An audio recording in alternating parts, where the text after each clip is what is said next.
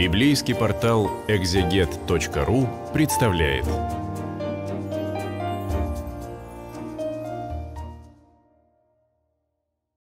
Седьмая глава книги пророка Даниила.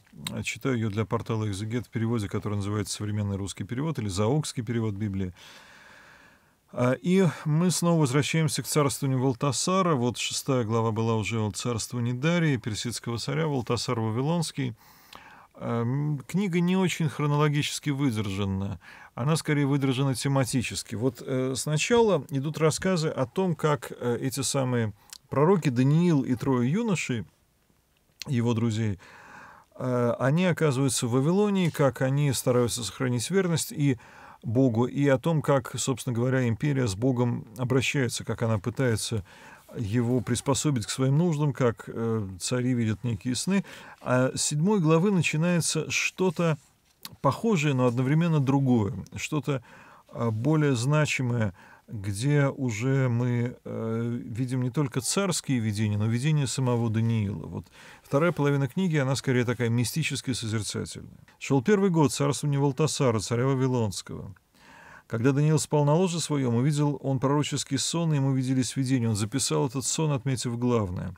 «Видел я, Даниил, в ночном видении, как четыре небесных ветра взволновали великое море, и вышли из моря четыре огромных зверя, не похожих друг на друга».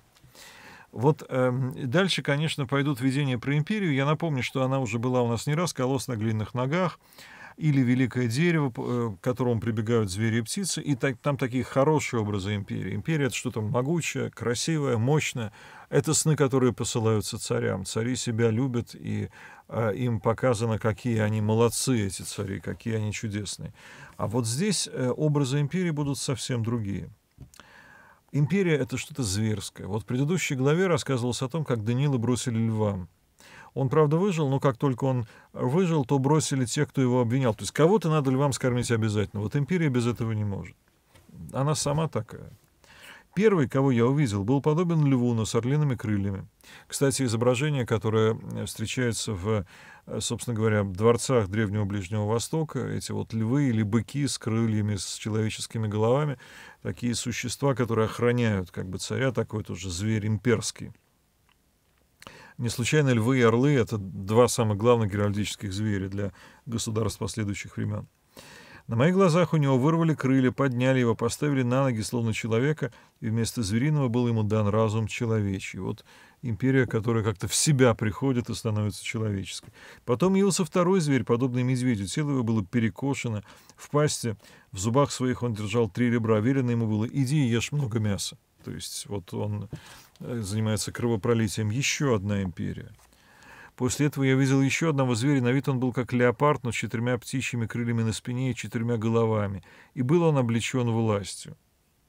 Тоже леопард с четырьмя крыльями, еще и четырехголовый, какие-то прям монстры. Затем увидел я в ночном видении четвертого зверя, грозного, наводящего ужасы силы необычной. У него были огромные железные зубы, свои жертвы он терзал и пожирал, а остатки попирал ногами. Он отличался от всех предыдущих зверей, было у него десять рогов. Пока я глядел на эти рога, среди них вырос еще один рог маленький, чтобы дать ему место. Три прежних рога оказались с корнем вырванными. У этого рога были глаза, как у человека, и уста, говорящие надменно. Какие это империи? Ой, издавна толкуют, какие только не. Вавилонская, Персидская, империя Александра Македонского и Римская. Самое частое толкование — а что это за 10 рогов, какие-то 10 правителей, потом появляется еще один одиннадцатый, и три, соответственно, уступают ему место. А может быть, это что-то более древнее, мы не знаем. А может быть, что-то более новое, тоже не знаем. Это не очень важно. Важно, что это э, бесконечная череда могучих государств, которые вот такие звероподобные, которые внутри себя к тому же не очень едины, да, там кто-то кого-то свергает, кто-то занимает чье-то место — а, и человек пред ними себя чувствует растерянным, слабым, жертвой он себя чувствует. И вдруг я увидел, что поставлены были престолы, и восел на престол древний днями, одежда его белоснежна, и волосы белые, как лен. Престол его огненное сияние, колеса под ним пылающее пламя. Огненный поток, струясь, разливался, исходя от него. Тысячи тысяч служили ему, тьмы и тьмы стояли пред ним свидетелями. Суд начался, и раскрылись книги. И вот э, возникает ситуация суда, причем это древние днями, это явно Бог, который судит, мир, который судит эти империи, который произносит некий приговор, и оказывается, не они все решают. Внимание мое привлек шум, поднятый надменными речами рога. Я смотрел, пока не увидел, что зверь был убит, и труп его уничтожен, предан огню. А прочие звери, хоть и были лишены власти, но все же до срока оставались в живых. Вот э, смотрите, то есть самое надменное убивается, уничтожается, остальное остается в слабом виде. Еще в том ночном видении я видел с облаками небесными шел некто, словно сын человеческий. Сын человеческий, то самое выражение, которое будет без конца в Новом Завете, здесь упоминается не то чтобы впервые, но впервые в значении какого-то особого существа. Очень часто к пророкам обращается Господь Сын человеческий, ну то есть человек, с тобой разговаривает Бог, а ты человек. А здесь Смотрите, звери, звери, звери какие-то могучие, невероятные, у которых там рога, крылья, все что угодно, много голов, которые там жрут друг друга, терзают. И вдруг идет Сын Человеческий, вдруг идет человек, вдруг идет какое-то другое царство, которое по-человечески себя ведет. Царство, которое мы привычно называем Царством Божьим. Шел некто, словно сын человеческий, к древнему днями приблизился он, был к нему подведен, власть, слава и царство, все было дано ему, чтобы пред ним преклонились все народы, племена и языки. Власть его будет вечной, неприходящей, царство его нерушимо. То есть после всех этих зверюг, после всего этого хищничества, обжорства, гордости и всего остального, появляется нечто человеческое, и ему не будет конца. Что это? Кто это? Даниил не оставляет нас наедине с этим текстом и дает толкование, которое, впрочем, не сильно объясняет смысл предшествующих видений. А я, Даниил, пребывал в глубоком смятении, меня ужаснули видения, пришедшие перед моими глазами. Подойдя к одному из стоящих там, я спросил у него о точном значении всего, что увидел. Он ответил мне и дал видению толкования. Эти четыре огромных зверя — четыре царства, что будут на земле. Но царство перейдет к святым Всевышнего, и владеть тем царством они будут вечно, во веки веков. Святые Всевышнего, то есть Божий народ, одновременно это и э, царство Израиля как народа Бога. Затем я захотел узнать, что именно означал четвертый зверь, отличавшийся от прочих. Зверь, наводивший ужас, с железными зубами, медными когтями. Тот, который терзал и пожирал жертву, попирал ногами остатки. Вот, ну, самый последний, самый страшный. Я хотел узнать о десяти рогах на его голове и о роге, который поднялся, когда три других паре, о том самом роге, что на вид был больше прочих, у которого были глаза и чьи уста говорили надменно. Представляете себе, рог с глазами, да еще и с ртом говорящий. Ведь я видел, как этот рог вел войну со святыми и одолевал их, пока не пришел древний днями, и суд не вынес решения в пользу святых Всевышнего. И тогда настало время святым вступить в владение царством.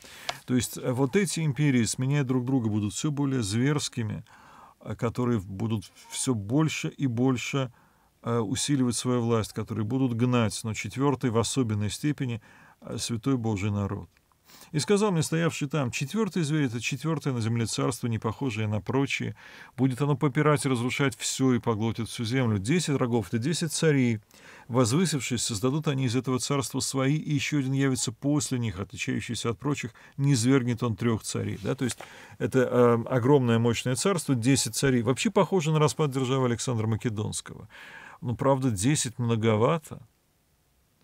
А, хотя, может быть, претенденты имеются в виду. Но и Рим все время распадался и враждовал между собой. И вообще а, в царствах мира очень частая история, когда претенденты сменяют друг друга, появляется кто-то новый, убирая предыдущих. Слова его будут враждебны Всевышнему. Он из святых Всевышнего притеснять будет и захочет изменить священные дни и закон, то есть э, отменяет богослужение. Это очень похоже на то, что будет происходить во время войны э, израильтян, э, иудеев с э, селевкидами, с маковейских войн, как это называется в истории, когда селевкидская власть, уже эллинистические правители Ближнего Востока, захотят отменить действительно иудейскую религию, считая ее недостаточно лояльной для своего государства, и маковейские повстанцы будут с оружием в руках добиваться своей свободы, соблюдать закон. Но эти истории, опять-таки, проходили довольно много раз. Святые будут отданы ему во власть, и это на одно время, два времени и половину времени. Что это такое? Наверное, год. год, два года и полгода. То есть три с половиной года будут они воевать очень тяжело. Но свершится суд, и он будет лишен власти, чтобы не было власти у него впредь, чтобы покончить с ней навсегда. Но они завоюют себе свободу, да, это и будет. А верховная власть и главенство, величие всех царств под небесами будут отданы народу святых Всевышнего, царство которого царство вечное, которому и служить, и повиноваться в том царстве будут все. Вот, смотрите, э, как раз мы увидели такую череду, проходят звери, звери, звери и сын человеческий.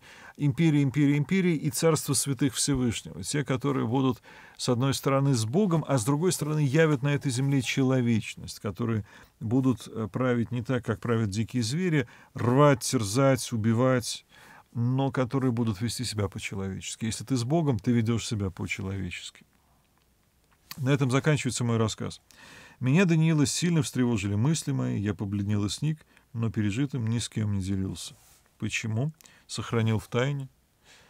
Наверное, потому что какие-то вещи невозможно описать. Ведь даже когда мы читаем этот текст, мы на самом деле не очень хорошо понимаем, что конкретно здесь сказано. Вот эти видения, у них есть такое свойства на уровне буквальном, они фактически не поддаются однозначной расшифровке.